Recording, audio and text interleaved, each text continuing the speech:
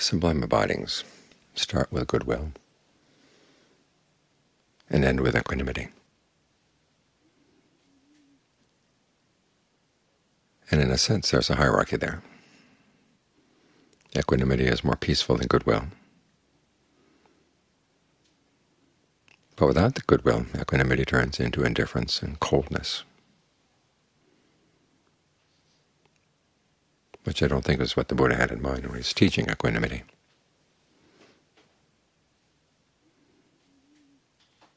You have to start with goodwill, a desire for happiness, happiness that is lasting, a happiness that is harmless.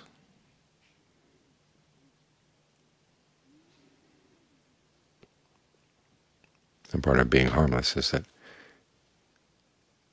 you realize if your happiness does harm somebody else, they're not going to stand for it, so it's not going to last. So harmless and lasting go together. You have to think about what that means, goodwill. It's not that by spreading thoughts of goodwill to others we say, may you be happy simply as you are, whatever you're doing. If people are doing unskillful things, you hope that they can change their ways. And if you're able to help in that endeavor, you're happy to do it.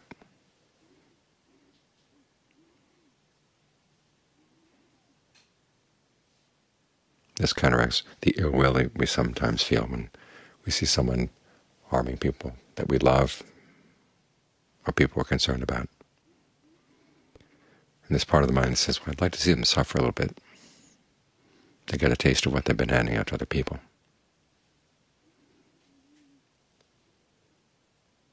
But you think about it, when, sometimes when people are suffering from their unskillful actions, they don't stop. They can often become even more and more unskillful. So you're hoping for understanding and a willingness to act on the understanding and the ability to act on the understanding. But at least the understanding is the important part.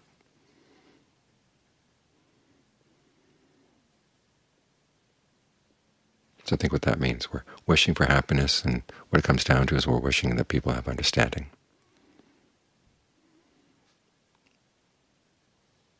All too often the sublime abidings are treated as something separate, say, from the Four Noble Truths. There was a book years back, what the Buddha taught, that treated the Four Sublime Abidings as kind of an addendum tacked on to the end. It didn't seem to fit in with the rest of the discussion, which was on the Four Noble Truths. But that's not the case. Goodwill is intimately connected with right view. As the Buddha said at one point, if you have ill will, you've got wrong view. So if there's any sense of resentment, any desire for revenge, that's wrong view.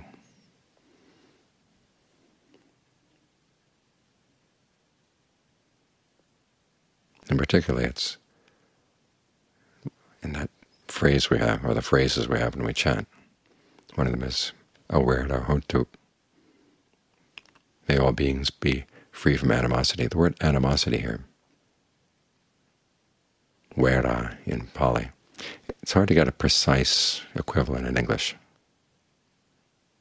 It's basically the animosity that comes when two people have been mistreating each other, and they just keep back and forth, back and forth, back and forth. You did it to me, I'm going to do it to you. That's the attitude. It's very closely related to the idea, or the attitude that wants to get revenge. And this can go on for lifetime after lifetime. This is why an important part of goodwill is also forgiveness. There was an article recently saying that forgiveness has no role in the teaching of karma. And it's true that you're forgiving someone else for having abused you is not going to erase their karma. You're not the owner of their karma.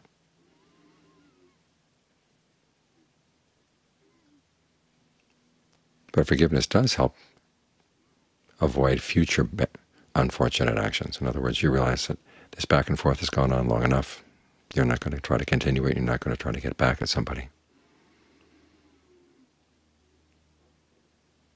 And so you forgive them for that last instance, and make up your mind that you're going to pose them no danger. The word abhaya, at least in Thai, is used to mean forgiveness. It literally means danger-free.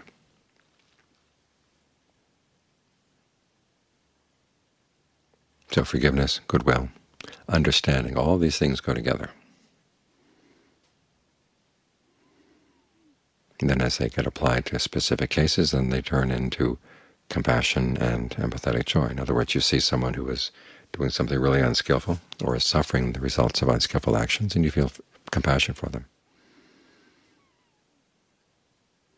If you see someone who's doing things that are skillful, that will lead to happiness, or are already experiencing the happiness, you're happy for them. There's no resentment, there's no jealousy. So all these attitudes go together. Equanimity stands apart a little bit.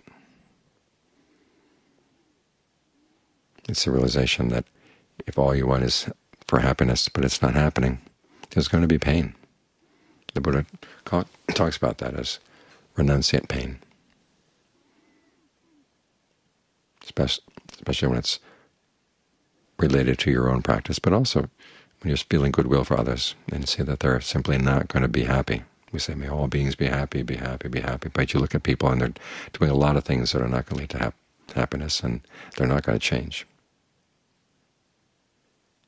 And if you don't develop equanimity, there's going to be a lot of suffering. This is for your own protection and for the protection of the other person.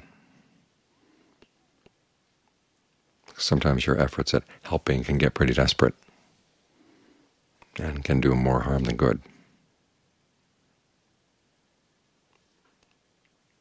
Or you're in your desire to get along, your desire to do what people want, you can do harm. Because there are times when what they want is not the right thing.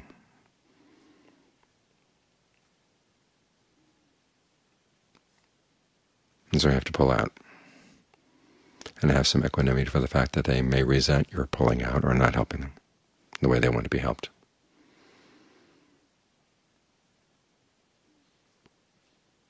But again, equanimity, like goodwill, has to be based on understanding.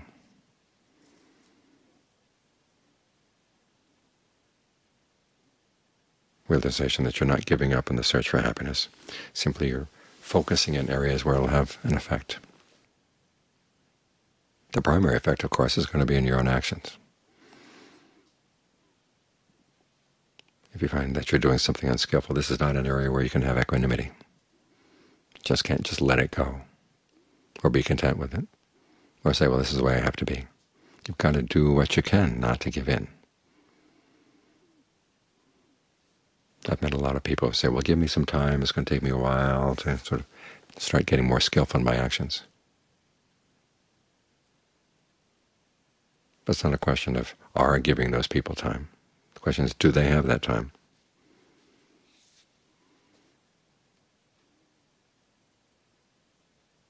that figure of death that we see in cartoons. doesn't wait around and say, well, this person has enough time to get their act together. Now I'll come and visit.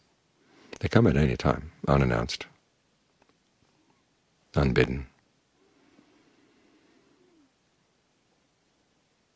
So in terms of your own actions, if you see that you've got something unskillful, this is where you have to have lots of goodwill for your desire for true happiness.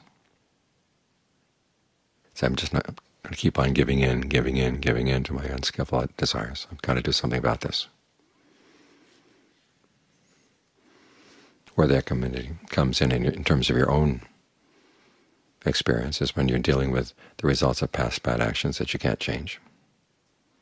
You have to accept, okay, this is the way things are. Certain things you can't work your way around. But even there, you've got to figure out, well, how do I not suffer?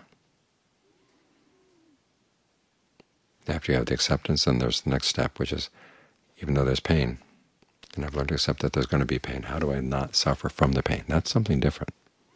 That requires more wisdom. Learning how to separate the pain, say, say if it's a physical pain, separate it from your awareness, and separate the pain from your sense of the body.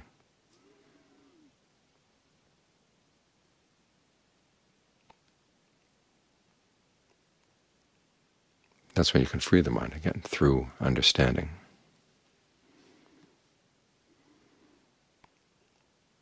So there's less willing in terms of the equanimity there. There's more understanding that cuts through the connection that would cause suffering. As for your dealings with other people, you focus on the people you can help. You have to have equanimity, equanimity for cases where you can't. So for all the Brahma-viharas, all the sublime abidings, it requires understanding.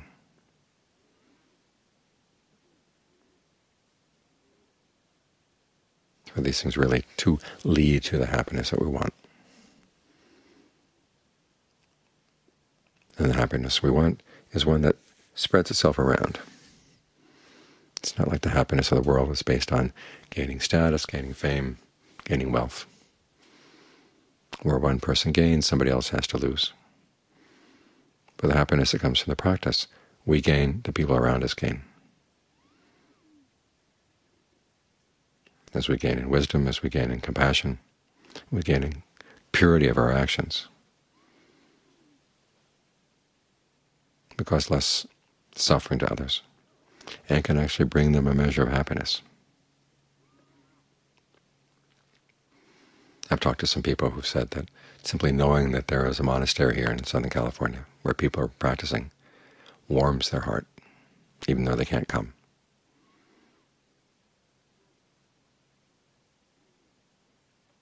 So you never know to what extent your your practice is going to have a good effect on somebody else.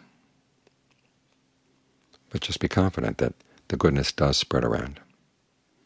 Some people are more receptive, some people are less. But it does spread around.